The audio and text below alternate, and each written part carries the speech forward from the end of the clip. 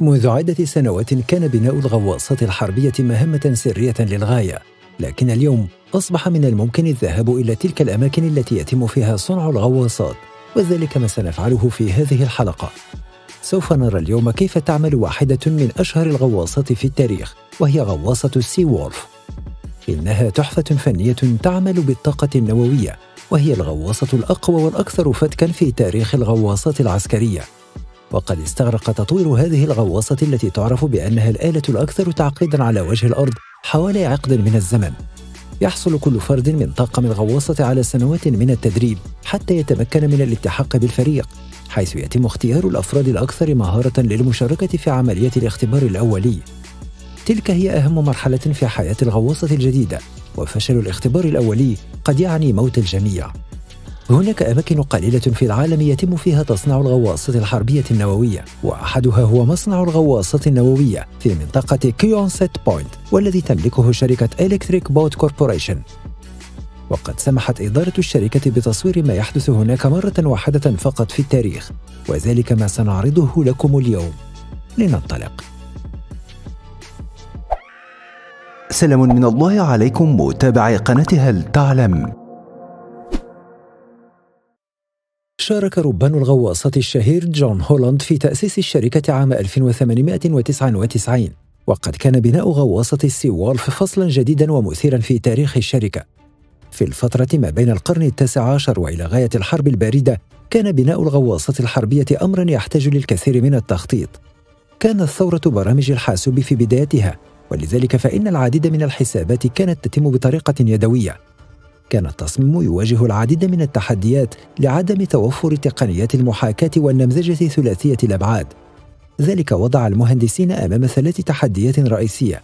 أولها هو كيفية إنشاء مركبة قادرة على مقاومة ضغط الماء، والثاني تمثل في طريقة تركيب الأسلحة المدمرة. أما الثالث فتمثل في إخفاء تلك المركبة عن الرادارات.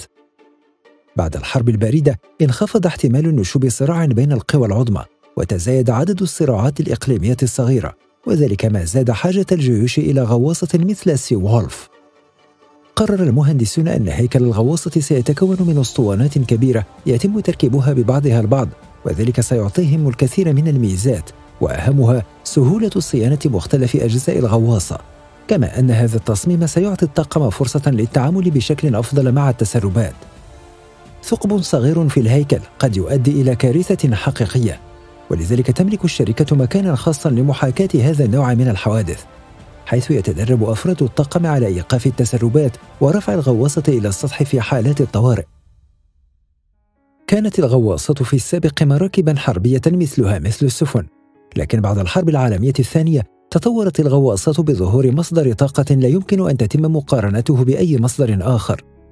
بدأ ذلك على يد أدميرال البحرية الأمريكية هايمان ريكوفر. والذي وجد طريقة لاستغلال الطاقة النووية في تشغيل الغواصات الحربية حيث إن بضعة كيلوغرامات من اليورانيوم المخصب يمكنها أن توفر نفس الطاقة التي توفرها ملايين اللترات من الوقود. أدرك الأدميرال ريكوفر أن الطاقة النووية ستحول الغواصة إلى سلاح مرعب. في السابق كانت الغواصة بحاجة إلى الصعود للسطح بشكل متكرر وذلك ما جعلها عرضة للهجوم. أما بعد استعمال الطاقة النووية فقد أصبحت الغواصة قادرة على البقاء في الأعماق لفترات طويلة جدا. وقد كانت غواصة السي وولف أول غواصة في العالم تعتمد على الطاقة النووية. في عام 1955 تم تجسيد النموذج المقترح من طرف ريكوفر وهي غواصة السي وولف التي أصبحت بعد ذلك سيدة المحيطات. في أول رحلة تاريخية لها عبرت الغواصة من المحيط الهادئ إلى المحيط الأطلسي مرورا تحت جليد المحيط المتجمد الشمالي. استمرت الرحلة لمدة أربعة أيام. وفي الفترة ما بين السبع من شهر أغسطس إلى غاية السادس من شهر أكتوبر حطمت الغواصة رقما قياسيا ببقائها مدة 60 يوما تحت الماء. صحيح أن الغواصات اليوم تستطيع البقاء لفترة أكثر من ذلك بكثير لكن بقاء الغواصة لمدة 60 يوما تحت الماء كان بمثابة معجزة في ذلك الوقت. الحياة على متن غواصة حربية ليست ممتعة. يحرص المهندسون على استغلال كل المساحات لزيادة كفاءة الغواصة، وبالتالي فإن المساحات المتبقية للأفراد قليلة جدا. يتناول 130 رجلا ثلاث وجبات يوميا بالتناوب في غرفة صغيرة جدا. حتى أماكن النوم غير كافية ولذلك يتناوب أفراد الطاقم على النوم أهم ما يميز غواصة السي وولف هو نظام الحاسوب الذي تم تزويدها به. إنه حاسوب متصل بشبكة من المستشعرات واللواقط التي لم يتم استعمالها في أي غواصة أخرى في ذلك الوقت. كما أن برنامج الاتصال الخاص بالغواصة يتكون من كود برمجي به أكثر من ستة ملايين سطر. يمكن لأنظمة الاستشعار أن تستمع لكل الأصوات في أعماق المحيط بما في ذلك أصوات الحيوانات البحرية. كما أنها قادرة أيضا على استشعار حركة السفن على السطح من خلال ذبذبات المحركات. ورغم كل ذلك فإن مهمة السفر تحت الماء تبقى خطيرة للغاية خاصة حين يتعلق الأمر بالرحلة الأولى للغواصة وذلك يذكرنا ببصمة سوداء في تاريخ الغواصات النووية في عام 1960 كانت غواصة السي وولف قد خضعت للعديد من التجارب بنجاح وقامت نفس الشركة المصنعة بتصنيع غواصة نووية أخرى وهي غواصة يو إس إس تريشر. وفي شهر أبريل من عام 1963 أبحرت يو إس إس تريشر على الساعة السابعة وسبع وأربعين دقيقة مساء على بعد حوالي 300 كيلومتر شرق بوسطن. وقد كان ذلك أول اختبار حقيقي لها. على الساعة التاسعة وثلاثة عشر دقيقة مساء تلقى مركز المراقبة إشارة تفيد بأن الغواصة تعاني من صعوبة في العودة إلى السطح. بعد أربعة دقائق تلقى المركز رسالة مشوشة بها صوت انفجار قوي. بعدها اختفت الغواصة التي تحمل على متنها 129 رجلاً. وفي شهر يونيو من نفس العام تم العثور على حطامها على عمق 2500 متر تحت الماء. لم يتأثر أي شخص بذلك الحادث بقدر تأثر الأدميرال ريكوفر الذي قرر أن يواصل السعي نحو تطوير الغواصات النووية. استمرت أبحاثه لعدة سنوات وبفضل مجهوداته نجح المهندسون في بناء هياكل أكثر متانة بعد الاعتماد على مواد مختلفة لصناعة الهيكل مما يعطيه مقاومة أكبر للضغط في أعماق المحيطات.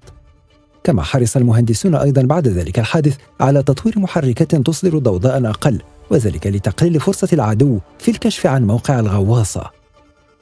قدرة الغواصة على التخفي ليست بغرض الدفاع فقط بل إنها تعطيها بعض المزايا الهجومية أيضا. ولذلك فعل المهندسون كل ما بوسعهم لعزل أصوات المحركات على الوسط الخارجي.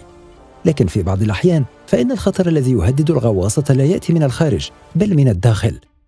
على عمق مئات الأمتار تحت سطح البحر يمكن أن يندلع حريق داخل الغواصة وذلك واحد من أكبر المخاطر التي يتدرب أفراد الطاقم على طريقة التعامل معها. يجب التخطيط لكل شيء مسبقا ولذلك يخضع جميع الأفراد لتدريبات خاصة بالتعامل مع الحرائق داخل الغواصة. كما أن المهندسين يضعون هذا الأمر بعين الاعتبار لتوفير مختلف التجهيزات والآليات التي تساعد على إخماد الحريق كما يأخذ المهندسون بعين الاعتبار أيضا الترسانة العسكرية التي تحملها الغواصة وعند الحديث عن غواصة مثل السي وولف فإننا نتحدث عن صواريخ مدمرة بعيدة المدى وهو ما يجعل هذه الغواصة أخطر غواصة في تاريخ الصناعة العسكرية. يتكون هيكل الغواصة من مجموعة من الأسطوانة العملاقة التي يتم تثبيتها ببعضها البعض ويصل وزن القطعة الواحدة إلى حوالي 1400 طن. ذلك دفع الشركة المختصة في تصنيع هذا النوع من الغواصات إلى صنع شاحنتين عملاقتين مخصصتين لنقل تلك القطع من المخزن إلى المصنع.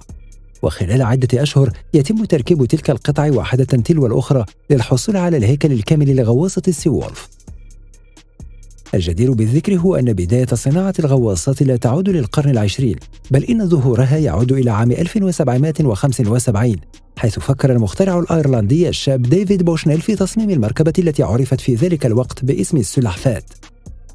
وهي المركبة التي ساعدت الجنود على تركيب العبوات الناسفة تحت السفن الحربية للعدو.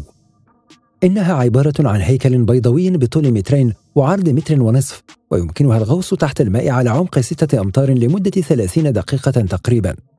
أما أول غواصة تنجح في توجيه ضربة توربيد إلى سفن العدو فهي الغواصة التي صنعها المخترع هوراس هانلي في القرن التاسع عشر. في الغواصات العادية يكون هناك فراغ بين الهيكل الداخلي والخارجي على الجانبين. حين يتم ملء ذلك الفراغ بالماء تغوص الغواصة وحين يتم إفراغه تعود إلى السطح مجددا. لكن ما يميز غواصة السي وورف هو أن الفراغين اللذان يتحكمان في عملية الغطس والطفو موجودان أعلى الغواصة وأسفلها وذلك ما يعطيها قوة دفع أكبر. تحتوي الغواصة أيضا على نظام خاص لتزويد الوسط الداخلي بالأكسجين حيث يعمل النظام على تفكيك جزيئات الماء المكونة من ذرتي هيدروجين وذرة أكسجين وذلك عن طريق قوة كهرومغناطيسية تفك ارتباط الذرات. هذا النظام يجعل الغواصة تستغني عن العودة للسطح للتزود بالأكسجين كما كان نظام الدفع المزدوج الذي طوره الأيرلندي جون فيليب هولاند عنصرا مهما في تطوير الغواصات حيث صنع هولاند أول غواصة تعمل بهذا النظام في عام 1900 وهي الغواصة التي اعتمدتها القوات البحرية الأمريكية رسميا وتم تصنيع 25 نسخة منها لاحقا. وهي نفس الغواصة التي استعملتها البحرية عام 1915 لضرب سفينة ألمانية. مما أدى لوفاة أكثر من 1100 شخص في غضون 20 دقيقة. كانت تلك نقطة تحول كبيرة في تاريخ الغواصات الحربية وبعد ذلك استمر تطوير الغواصات وذلك أدى لظهور غواصة السي وولف النووية المرعبة. خضعت الغواصة للعديد من الاختبارات الدفاعية والهجومية. كانت القوات البحرية الأمريكية تجهز الغواصة لتكون سلاحها الأول في حالة قيام أي حرب. تم إنفاق ملايين الدولارات على التطوير وأيضا على تدريب طاقم خاص بتشغيل الغواصة. وقد شارك أكثر من 100 شخص في رحلتها الأولى وذلك شمل حتى المهندسين الذين أشرفوا على تطوير الغواصة. كان العمل مستمرا ل 24 ساعة في اليوم ولسبعة أيام في الأسبوع. ذلك مكن الفريق من إنهاء عملية التركيب في مدة ثلاث سنوات وهي مدة قياسية. واليوم أصبح تطوير الغواصات أمرا أسهل بكثير من السابق خاصة مع ظهور تقنيات التصميم ثلاثي الأبعاد وتقنيات المحاكاة التي تسمح للمهندسين بأخذ نظرة عن المظهر الداخلي والخارجي للغواصة والتعرف أكثر على المساحات التي ستكون موجودة داخلها وما إذا كانت مناسبة للبشر. من الصعب أن نتخيل المغامرة التي يقوم بها الإنسان عند ركوب الغواصة والانطلاق نحو أعماق المحيطات. لابد أن ذلك يحتاج إلى الكثير من الشجاعة والكثير من التدريب والاستعداد البدني والنفسي أيضا. إن عجبكم موضوع اليوم من قناة هل تعلم فلا تبخلوا بالإعجاب والاشتراك. يمكنكم أيضا متابعة فيديوهاتنا السابقة. جميع الحقوق محفوظة لدى قناة هل تعلم.